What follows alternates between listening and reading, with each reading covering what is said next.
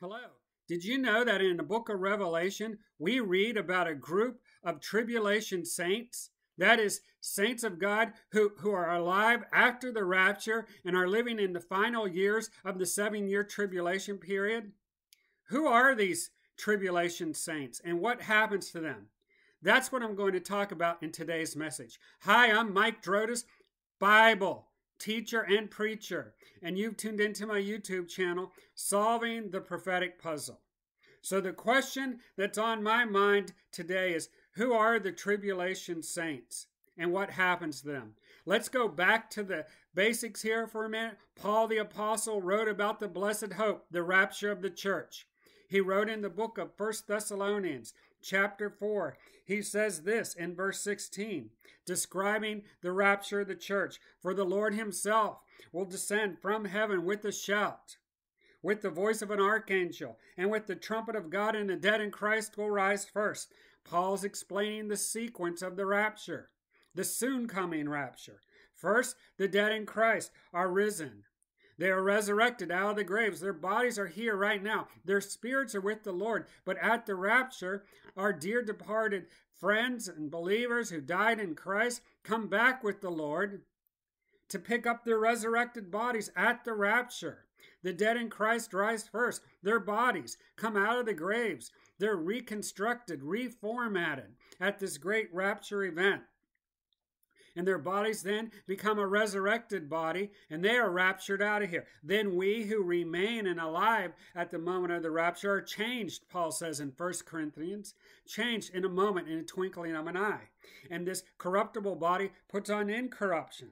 Verse now back to 1 Thessalonians, verse 17. Then we who are alive and remain shall be caught up together with them in the clouds to meet the Lord in the air and thus we shall always be with the Lord. Therefore, comfort one another with these words. That is what Paul calls the blessed hope or the rapture of the church. It is coming, it is a soon coming event in, in our timeline. The rapture, when Jesus Christ comes back, pulls all the Christians off the face of the earth. It's the great escape. Before the trumpet judgments and bowl judgments of the tribulation period. Jesus used that example in Matthew chapter 24 as well. Look at Matthew 24. Verse 36, Jesus used the example of Noah as, as escaping the, the judgment to come upon the earth. And verse 36 in Matthew 24, Jesus says, But of that day and hour no one knows, not even the angels in heaven, only my Father. But as the days of Noah were, so also will be the coming of the Son of Man. For in those days before the flood, they were eating, drinking, marrying, and giving into marriage until the day that Noah entered the ark, and did not know until the flood came and took them away. So also will be the coming of the Son of Man. Jesus is telling them that there is a flood of judgment coming during the seven year tribulation period where there'll be seven trumpet judgments, seven bowl judgments that will be poured out upon this earth poured out upon the Antichrist, the false prophet, those people who accepted the mark of the beast, the demon possessed, the blasphemer. And yet, even during the time of the Great Tribulation, when there are those who have not accepted the mark of the beast, they will be spared from some of this trumpet judgments and bowl judgments. Now, what I find interesting in all this is that during the final three and a half years of the tribulation period, there are still going to be believers on the earth. But who are they? And what will happen to them? I mean, after all, the rapture comes before these judgments, before the trumpet judgments, before the bowl judgments, and evacuates the believers. Yet, who are these tribulation saints? I believe they are a group consisting of two subsets of those who miss the rapture. They are like the five foolish virgins. They were not ready. They did not believe. They were not ready for the rapture. They did not believe the rapture. They were mockers. They were scoffers of the rapture. And when the rapture came, they were left behind. The tribulation saints is the group of believers who were left behind, either because at the point of the rapture they were not born again, or at the point of the rapture they did not believe. They were scoffers, mockers, deniers. I believe that this group of tribulation saints is a, is, is a, a combined mix, maybe of 75% of mockers and scoffers who missed the rapture like the foolish virgins. They were not ready. They were unprepared. And when the rapture came, they were left. And then the other 25% of these tribulation saints are those who get born again after the rapture.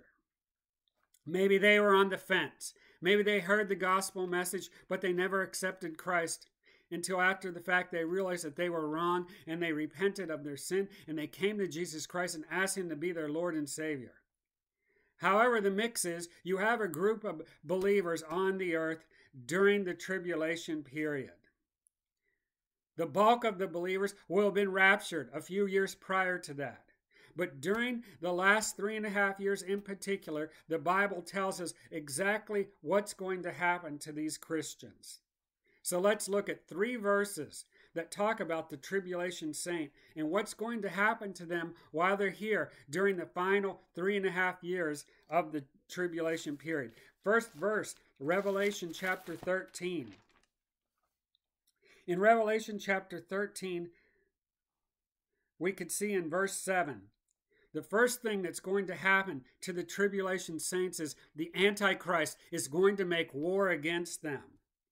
He is not going to want any believer, anybody who refuses his mark. He doesn't want anyone who believes in the lordship of Jesus Christ alive on this earth during, during that final three and a half year period, and he is going to make war on those saints.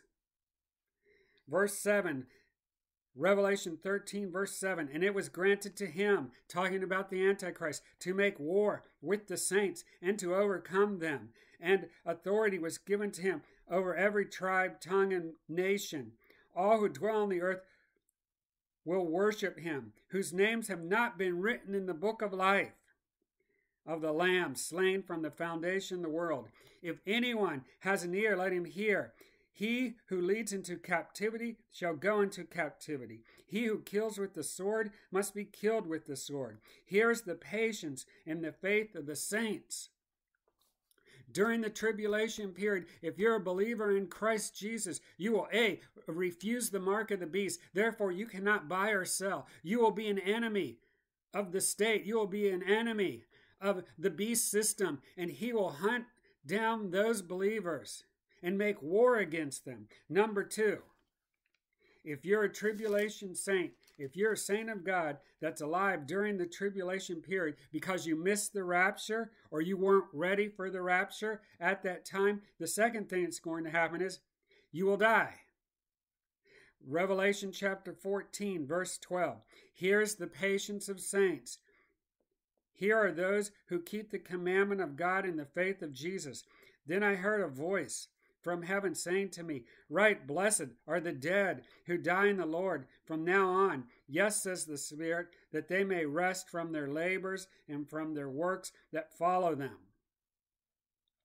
When you're a, a tribulation saint, you, you will die. You will die. The Antichrist will kill you, or you will die through collateral damage during the final three and a half years of the tribulation period. And number three, what happens to the tribulation saints? Revelation 14 12. No, Revelation 20. Sorry, Revelation 20, verse 4. And I saw the thrones, and they sat on the thrones, and judgment was committed unto them. Then I saw the souls of those who had been beheaded for their witness to Jesus and for the word of God, who, who had not worshipped the beast or his image, and had not received the mark on their foreheads or on their hands. And they lived and reigned with Christ for a thousand years. That's a there's a bad part to this verse and a good part. The bad part is the tribulation saint will be beheaded because he refuses the mark of the beast. He refuses to worship the antichrist. The good news is they will live and reign for a thousand years on this earth during the millennial reign of Christ. They won't miss out on ruling and reigning with Christ during that millennial reign. That's what's going to happen to the tribulation saints. You don't want to go through this time of great tribula- tribulation, and you don't have to. The time is short. The rapture is very, very soon. I'm sounding the alarm. If you don't know Jesus Christ as your Lord and Savior, today is the day to A, admit you're a sinner and you need a Savior. B, believe on the Lord Jesus Christ. And C, confess Him as your Lord and Savior. There is no other way to be saved except through Jesus Christ. You must be born again. Jesus told Nicodemus this You must be born again.